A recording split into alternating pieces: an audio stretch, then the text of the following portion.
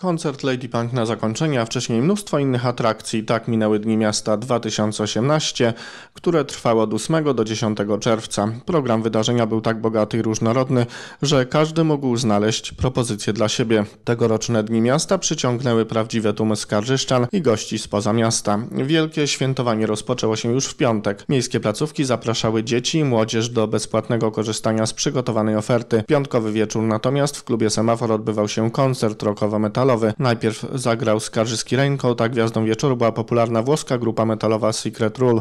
Wstęp na koncert był bezpłatny. W sobotę Dni Miasta odbywały się na Stadionie Ruchu, gdzie oprócz sceny, na której prezentowali się artyści, powstało prawdziwe miasteczko z licznymi atrakcjami. Wszystkich zebranych oficjalnie powitał prezydent miasta Konrad Kronik, jego zastępca Krzysztof Myszko oraz dyrektor Miejskiego Centrum Kultury, które było głównym organizatorem Dni Miasta, Katarzyna Michnowska-Małek. Życzyli udanej zabawy. Przypomnieli także, iż tegoroczne Dni Miasta mają szczególny charakter, ponieważ obchodzimy 95-lecie nadania praw miejskich Skarżysku. Prezydenci zaprosili również do skosztowania specjalnie przygotowanej na tę okazję zalewajki na szynach, która odnosi się nie tylko do charakterystycznej potrawy regionalnej, jaką jest zalewajka, ale także do historii tradycji Skarżyska, które jest miastem kolejarzy i w którym znajduje się duży węzeł kolejowy. Częstowani zalewajką na szynkach goście zgodnie potwierdzili, iż taka potrawa może zostać oficjalną potrawą naszego miasta. Tego dnia przed publicznością prezentowały się m.in. skarżyskie perły z Lamusa oraz sportowcy z Akademii Holistycznej. Dzień upłynął pod znakiem muzyki disco. Zwieńczeniem zabawy był koncert gości specjalnych. Na scenie pojawił się duet Sean Baker i Jessica Jane,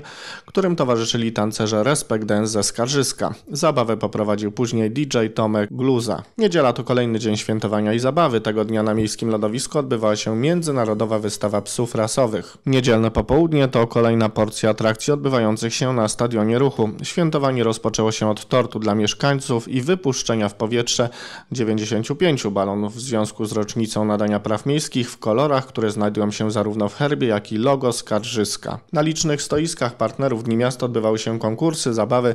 Skarżyskie wodociągi tradycyjnie organizowały quiz dla najmłodszych, zapraszały do swojej strefy wypoczynku i częstowały wodą. W namiocie Miejskiego Centrum Kultury animatorzy wspólnie z dziećmi budowali makietę miasta i tworzyli kolorowe prace z koralików. Powstawało m.in. logo miasta. Centrum Obsługi inwestora organizowało konkursy na temat przedsiębiorczości. Muzeum Orła Białego zachęcało do wykonywania pamiątkowych zdjęć z eksponatami. Policja przypominała o zasadach bezpieczeństwa. Na scenie natomiast prezentowali się m.in. uczniowie ze skarżyskich szkół oraz karatecy ze Skarżyskiego Klubu Sportu Walki Kyokushin Karate. Dzieci zostały zaproszone na występ zespołu Kosmokwaki, który zachęcał najmłodszych do wspólnej zabawy. Wieczorem odbył się koncert grupy Blue Station, a gwiazdą wieczoru był Lady Punk, który, jak można się było tego spodziewać, przyciągnął na stadion tysiące osób i zagwarantował niesamowite wrażenia.